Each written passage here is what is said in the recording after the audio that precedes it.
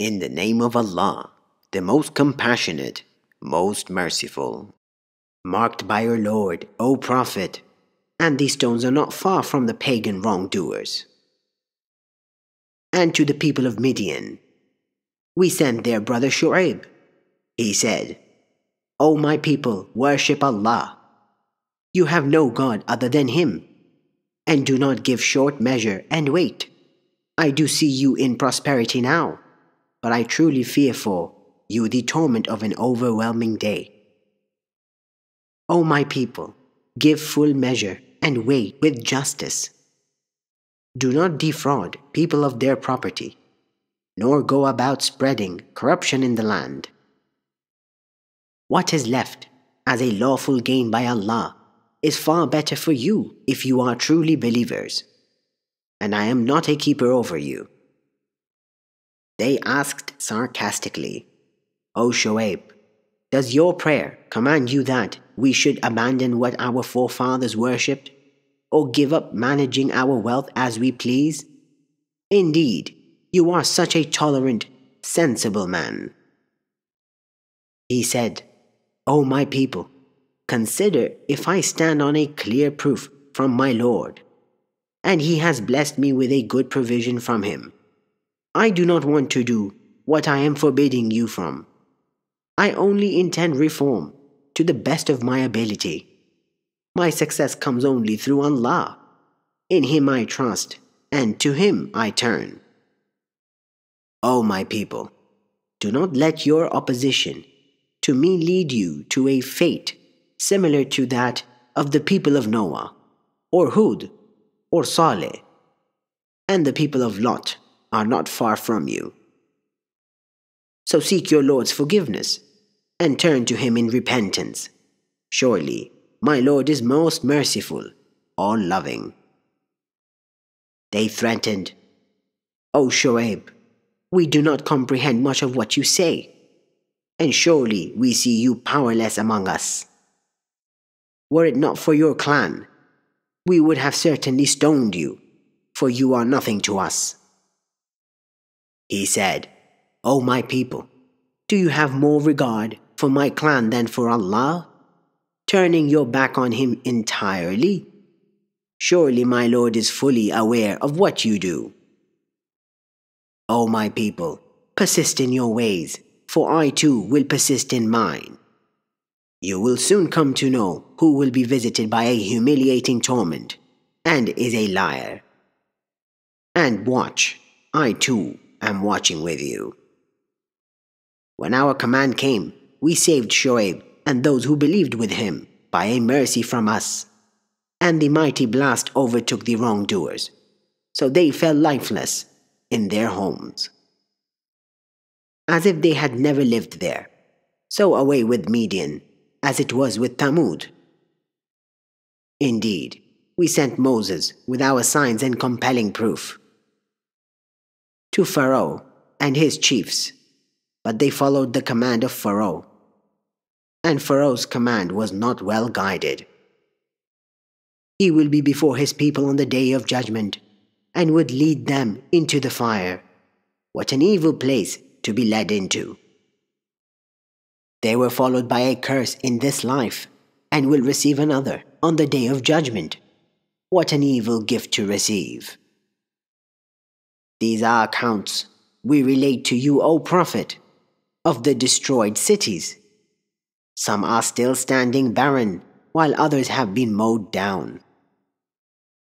We did not wrong them, rather, they wronged themselves. The gods they invoked beside Allah were of no help at all when the command of your Lord came and only contributed to their ruin. Such is the crushing grip of your Lord when he seizes these societies enriched in wrongdoing. Indeed, his grip is terribly painful and severe. Surely, and this is a sign for those who fear the torment of the hereafter. That is a day for which humanity will be gathered, and a day that will be witnessed by all. We only delay it for a fixed term. When that day arrives, no one will dare speak except with his permission, Some of them will be miserable, others joyful. As for those bound for misery, they will be in the fire, where there will be sighing and grasping, staying there forever, as long as the heavens and the earth will endure, except what your Lord wills. Surely your Lord does what he intends. And as for those destined to joy, they will be in paradise, staying there forever, as long as the heavens and the earth will endure, except what your Lord wills. A generous giving without end. So do not be in doubt, O Prophet, about what those pagans worship. They worship nothing except what their forefathers worshipped before them, and we will certainly give them their share of punishment in full, without any reduction. Indeed, we had given Moses the scripture, but differences arose regarding it. Had it not been for a prior decree from your Lord, their differences would have been settled at once. They are truly in alarming doubt about it. And surely your Lord will fully pay all for their deeds. He is certainly all aware of what they do. So be steadfast as you are commanded, O Prophet, along with those who turn in submission to Allah with you, and do not transgress. Surely He is all seeing of what you believers do. And do not be inclined to the wrongdoers, or you will be touched by the fire. For then you would have no protectors other than Allah, nor would you be helped. Establish prayer at both ends of the day and in the early part of the night. Surely good deeds wipe out evil deeds. That is a reminder for the mindful. And be patient. Certainly, Allah does not discount the reward of the good doers. If only there had been among the destroyed peoples before you, O believers, virtuous individuals who forbade corruption in the land, other than the few we had saved from the torment.